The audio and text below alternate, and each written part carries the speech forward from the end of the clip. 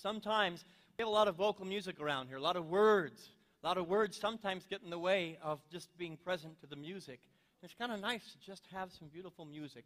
Take us to a place of stillness, of peace, of reflection and awareness.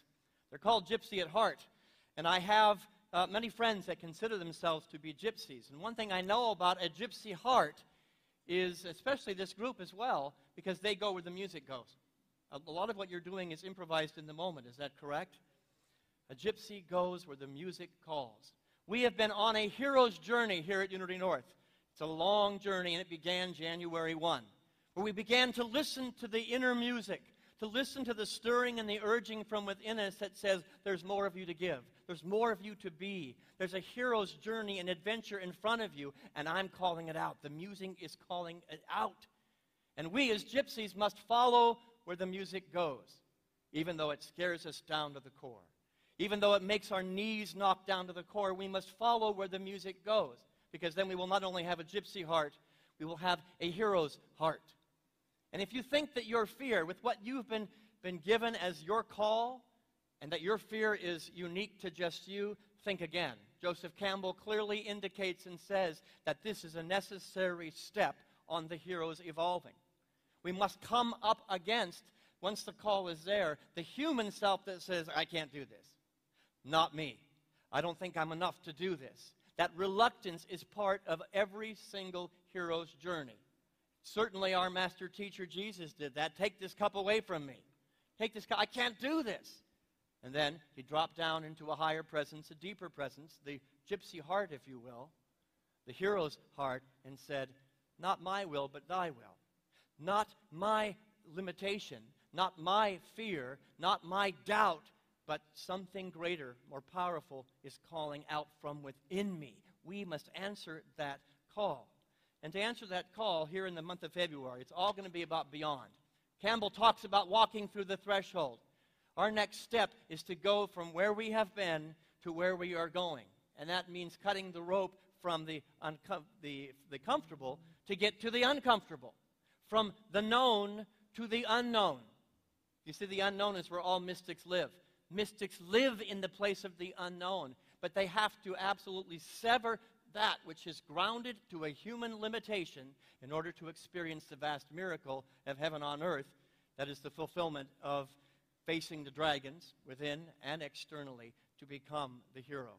I want to use as a context for, for today this brief story about a mountain climber. A mountain climber was eager to conquer the mountain before him, and he went up all alone. As he was climbing, it got later and later and darker and darker, and night fell with a heaviness as he was still at a very, very high altitude. Visibility was zero. As he continued his ascent, the climber suddenly slipped and fell. Plummeting rapidly, he could see only blotches of darkness that passed before his eyes. He fell for what seemed like an eternity into the emptiness, and he thought, certainly, this is it. I'm going to die. But then there was a jolt a jolt that almost tore him in half. Yes, he thought to himself, like any good climber, I had attached a rope to me, and I had attached it to the mountain. Whew. As he was hanging there in those moments of dark silence, it was completely pitch black. As he remained suspended in the abyss, blinded to anything except his own thoughts, he cried out, Help me, God! Help me! all of a sudden, a very deep, still, and gentle voice spoke from within him. What do you want me to do? Save me, he cried. Do you really think that I can save you? The voice replied. Well, of course you can. You're God, aren't you? Then cut the rope that is holding you. There was a long period of silence. And the man held even more tightly onto that rope, and he finally said, Can I get a second opinion?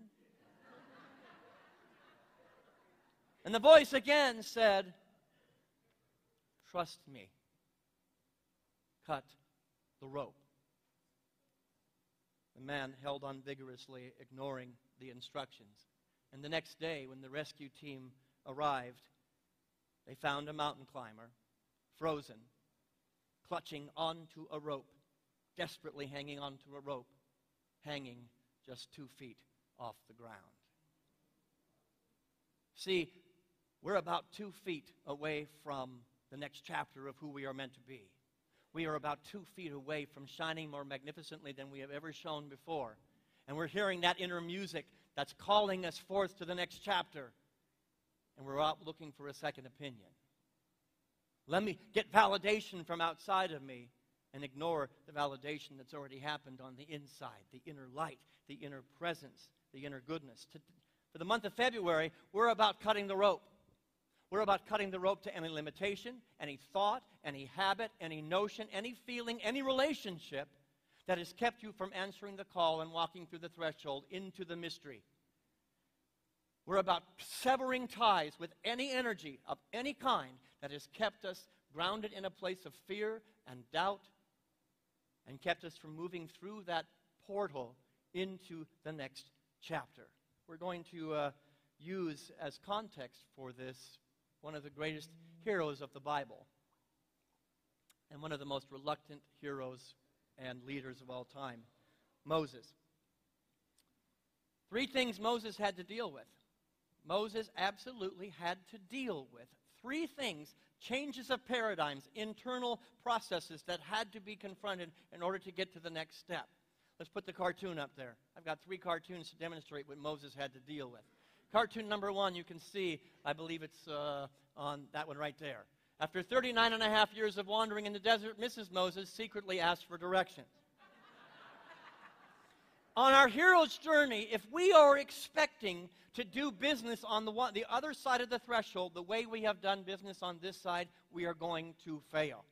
We have to let go of all the mechanisms, all the learning, all the ideas and notions that have kept us from asking for help, leave it aside. So many people think, well, I'm the hero.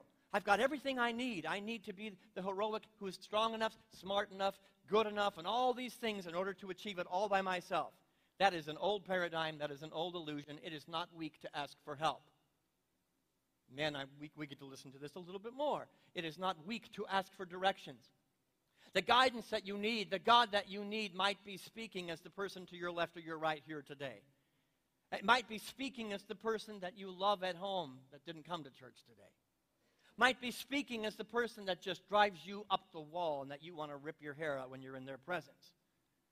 The voice of God is speaking, and we need to look with different eyes, a different heart, and different ears in order to receive that guidance. We need to leave behind who we have been, that thus who we can become has a space to move into. And that is scary. That is scary.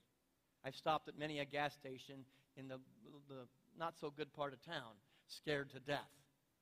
But you know what? If I don't if I don't ask the, for the help, if I don't seek the help and change my old ways and old patterns before I get there, I will be in the bar, bad part of town known as my human consciousness, my human limitation, and my ego. That's a bad part of town, and oh, it's dangerous.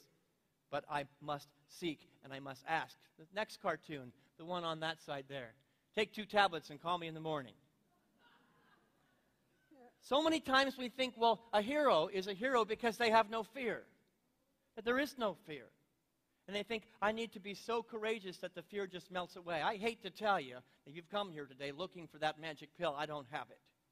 Fear is a part of your human experience. Fear is a necessary part of the evolution of your consciousness. When you're stretching, when you're growing, when you're becoming, fear is going to be your partner. And there isn't a magic pill, a magic prayer, there isn't a magic scripture, there isn't a magic teaching, no matter what anybody tells you, that will take that fear away from you. You need to be the great spiritual master, like a, a, karate master, to take the energy and to use it in a different way, to transform it, and to make sure that the fear, even if it's there, is at 49%, not 51%.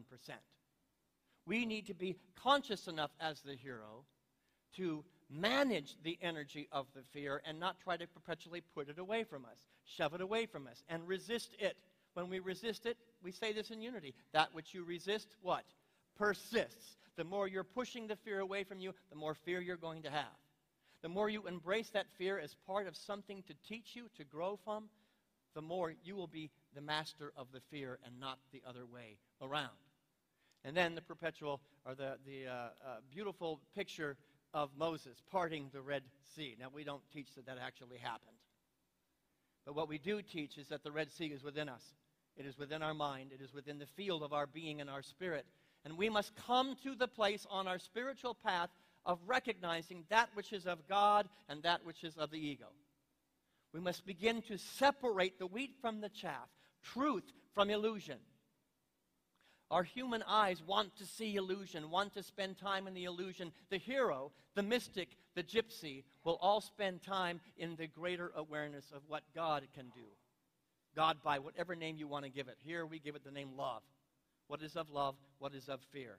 And when we do that, we clearly part the Red Sea, and a path is laid out before us. You see, the hero's journey must start within. It must be an internal process, first and foremost, or the path will not be made visible. There will be no path laid out before you until you can clearly discern this thought that you're having is it of love or is it of fear?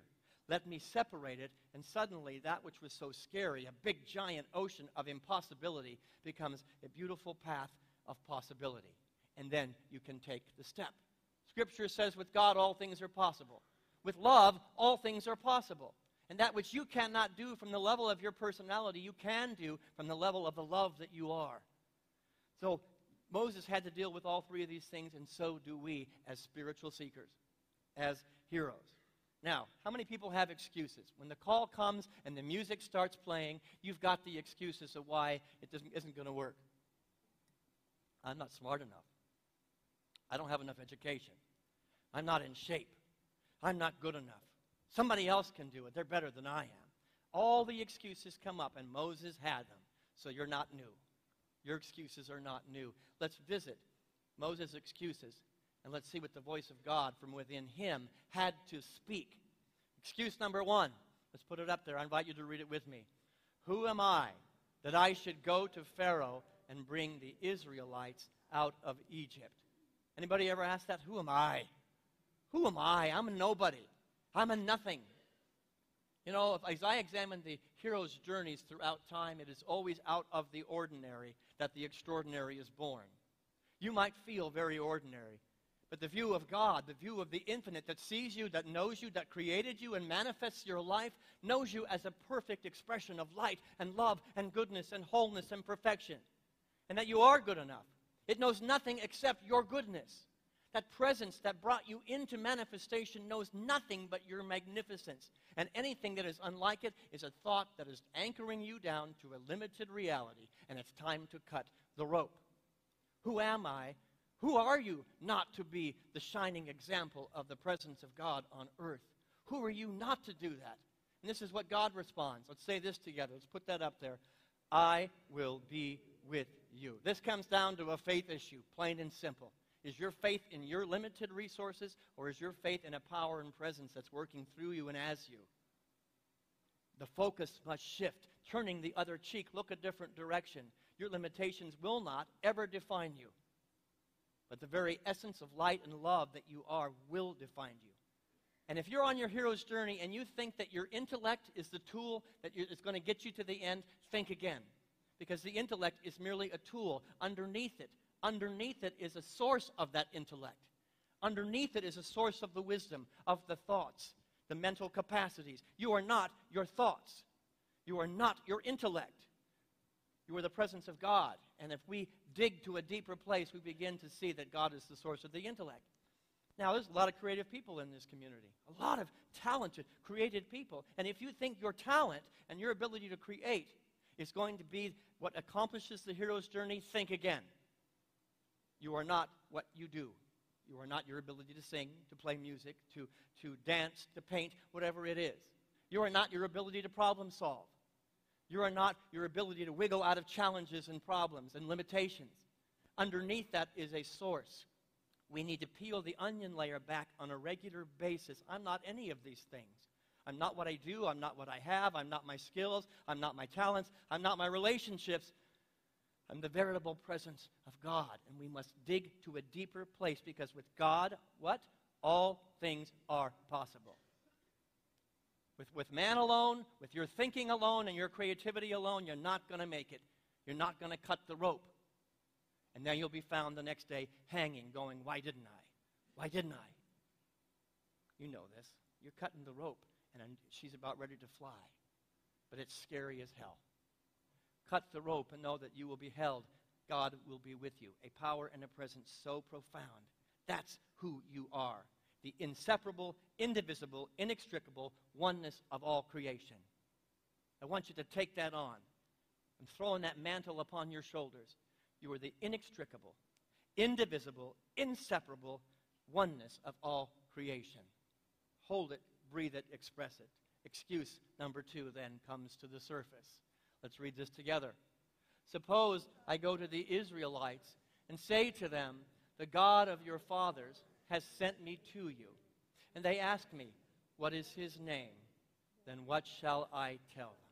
There is no shortage of people that when you step out on your hero's journey that are going to be the very rope. The relationships will be the rope that said, Oh, you're going on a journey of God. Tell me about this God. Use words to describe that which is indescribable. Use, use adjectives to describe this thing that is beyond, beyond adjectives. Use feelings to tell me about this God that has called you to the next version of who you're supposed to be. When that God is beyond description. Use metaphor to describe that which is impossibly accessible to us in metaphor. No shortage of people that are going to hold on to that rope and they're going to say, Come back through the threshold. You're risking too much. You're risking too much, and they're going to pull on that rope. That is the very moment we have to cut that rope. Because you're being dragged down by an anchor of consciousness that will never allow you to become what God has intended you to become, what the universe has caused you and called you to be. This is what God had to say. You all know this. You've heard this. This is the name of God. Let's say it with one powerful voice I am who I am. And when those people and those critics want to tell you you're wrong, and they want to tell you you're stupid, you've been listening to those crazy unity people that are telling you to risk and you're going to lose everything. I am who I am. I'm not defined by the crazy people at Unity. I'm not defined by your negativity. I am defined, defined by being who I am. You see, God is an experience. It is beyond mental constructs. It is beyond religions. The experience of this God by a hundred names, light, love, life, I don't care what you call it, it is an experience that cannot and will not be encapsulated in a human construct or a human box. And so if you find yourself eternally frustrated that you have the inability to express and to say what this experience is, if that frustration is dominating you, you never touch the face of God. If you can just simply let the critique come and it goes off your back like water on a duck's back, I am who I am. I will be known by my fruits. The master teacher said we will be known by our fruits. He didn't say by your words, by your fancy prayers. No, he said by your simply your being. And when you cut that rope, you're not only creating a possibility for yourself to go through a threshold, you're a wonderful demonstration for all the people that were holding you back that, well, I want what he's having. Maybe I can do that too. Here's the next excuse Moses has an answer for everything. What if, t- together, what if they do not believe me or listen to me? Do you know who he's talking about? They. We all have they in our life, don't we? The people that are holding onto the rope and they're tugging and they're not going to believe you. If you're on a growing path, there's going to be a whole multitude of people who don't believe you who will call you nuts. Is that the voice you're listening to? Or are you listening to the voice of God that says, cut the rope? And eventually, I'm not telling you to, to uh, make any rash decisions, but if those people are perpetually in your life as the anchor, cut the rope. Because there's a greater relationship and experience waiting for you on the other side. But we have to be the advocate of the change. We have to be the change that we want to see. See, and it's good for them. You're not helping them. By perpetually being frustrated, trying to explain to them, here are the words that will help you know God. Here are the ideas that will help you know God. Here are the metaphors that will help you know God. If you're in that perpetual cycle, you become the conduit. You become the savior for them when you cut the rope. We're not going to play that game anymore. Go take my words and go try to have the experience. Go experience God for yourself. There's no magic pill, there's no magic prayer. I can say a thousand words up here and they are meaningless unless you go home and try to implement the principles that we teach here. Yes? I often say, you hear me, it's like a dead horse here. Take what we've done in here and go out those doors and live differently. If it stays in this room, you're wasting my time and you're wasting your time. Take the energy, because it's all energy. God is just an energy. Take the energy and go try something different. Take a step left or right or forward or back and know that you're just a little bit closer to the threshold of who you are meant to be. And God is calling you. The music is playing. Answer the gypsy heart. Yes? Excuse number, oh, this is what God says. What if they do not listen to me? Together, I will show them through you. Now, that's my Reader's Digest version. There's a whole bunch of things that God talks about there about throwing stabs on the ground and they becoming snakes and frogs taking over the world and, and disease and all kinds of things happening. I don't want to go into the details of that because basically God's saying, I will show them through you. A great partnership. You are in partnership with the divine. And that's not a job of Buddha or Moses or Jesus or any prophet. It is your job to be in partnership with the divine, and that which you cannot do, that which you don't know how to do, God will show you. And they will pay attention because you will be known by your fruits. Trust, trust, trust. Cut the rope. Excuse number four. And this one's very near and dear to my heart, and I'll tell you why in a minute. Let's read it together. I have never been eloquent, neither in the past nor since you have spoken to your servant. I am slow of speech and tongue. Many people don't know this about me, but I stand here today. What I'm talking about today is not just a pretty theory, something I learned in seminary. I stand here today as somebody all through elementary school, all through middle school, and into my early high school career that was a horrible stutterer. Maybe not quite the level of the King's speech, but it was really difficult for me to communicate. And my stuttering to try and mask it, I became a wonderful mumbler. I was, could have been a character in a cartoon. Nobody could understand anything I was saying. I was a mumbler, I was a stutterer, and I was a very, very soft spoken person. I came by it naturally. There were some physical things that could be easily fixed, but boy, the work that went from elementary school to high school was the emotional work that had to be done. I was born into an environment where I was told for a very long time you were to be seen and not heard. What you have to say has no value. Many of you are sitting here today nodding your head because you're in a similar environment as an adult. What you have to say is of no value. We don't want to hear it. And that will show up as stuttering. You know how it showed up for me into my adulthood? Because I was able to transcend that kind of talking. You'll notice that comes out, by the way.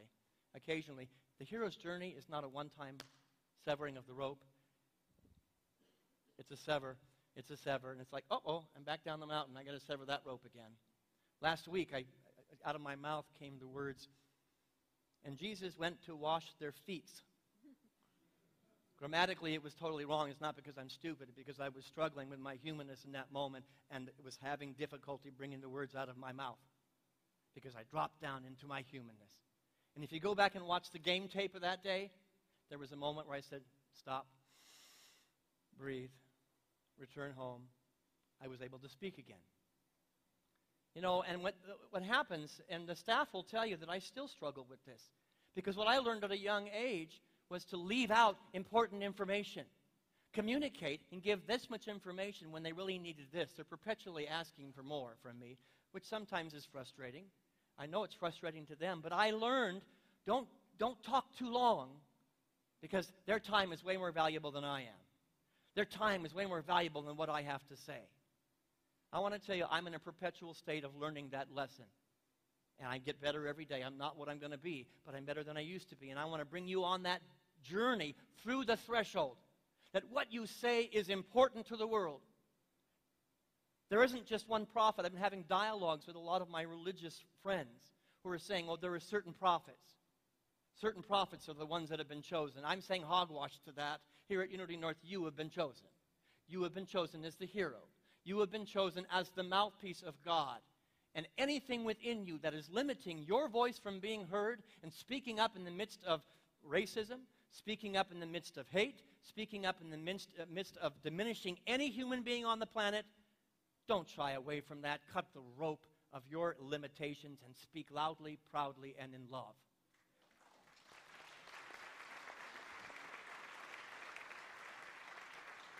And you know what? You will stammer, and you will stumble, and you will stutter because it's new territory, and you don't know how to feel and how to do it. This whole job here at Unity North is new territory for me. I am an introvert through and through, and to stand here before you is like a demonstration. I'm not asking for praise, it's a demonstration of acknowledging that I'm glad I went through that threshold. I'm glad I went through that threshold and that one and that one.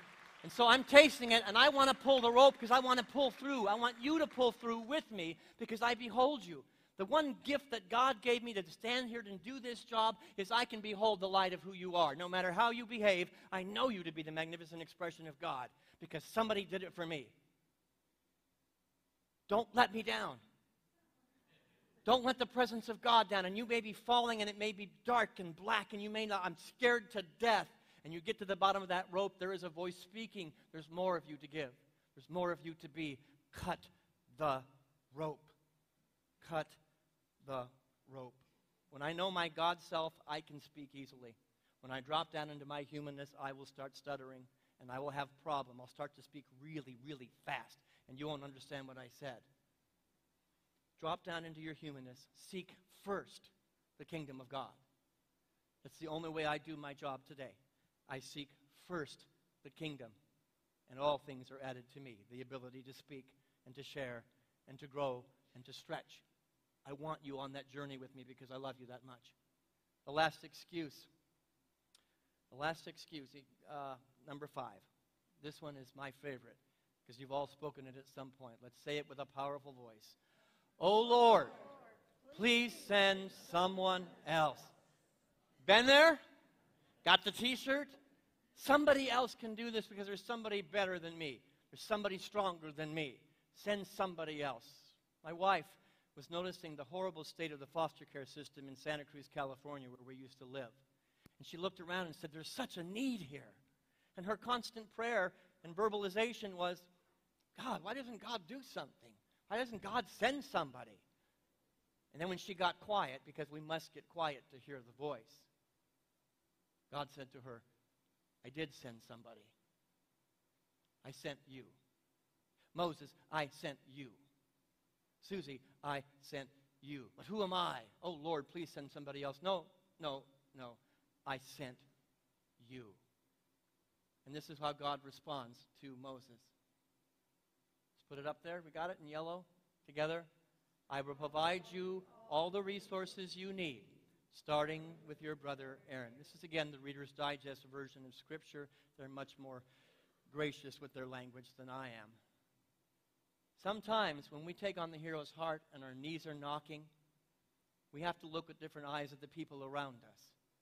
On the hero's journey, Joseph Campbell says that the mentor will show up, that the wisdom will show up, the people you need, the tools you need, the resources you need will be there. But the, here's the thing our human ego says, I want to see the resources first before I cut the rope. Don't you know that? Any great dream and vision were the people who felt the resources first cut the rope, then they showed up. That's the way life works. Wayne Dyer said it beautifully when he said, We're going around this planet saying, I'll believe it when I see it. Spiritually, it's a completely opposite equation. You will see it when you believe it. You cut the rope. But please send somebody else. And that person, those resources are right under your nose. As close as your brother Aaron. Aaron represents the person, some in this room possibly, the person in your family, the person at work. You need to see them differently. And let me tell you, it is not weakness to ask for help. Heroes have to ask for help or they will fail. They will fall down the mountain. I have to listen to the voice when it says, cut the rope, and to know that underneath me will be solid ground. There's always solid ground. And it may look like your sister, your brother, your friend, your mother. I don't know who it's going to look like, but you will know because you are open and receptive to looking with different eyes and hearing with different ears. The time has come for us to cut the rope and to look beyond our excuses, to look beyond our limitations. They do not and will not define you. To look beyond the people tugging on the rope, wanting you to go back, telling you don't climb the mountain, the people telling you it's stupid. Look beyond it. Look beyond the threshold. Because on the other side of that threshold, you're going to look back and you go, Thank God I answered this call. Thank God I took this step, and I will never go back to being that person again. You are the Christ. You are the Buddha. You are the divine essence of life itself. I'll leave you with this final quote before we go into our meditation. It's from Lao Tzu, one of my heroes. Let's read it together. When I let go of what I am, I become what I might be. No more excuses. Let February be a month of stepping through the threshold, confronting that which needs to be confronted, letting go of that which needs to be let go of.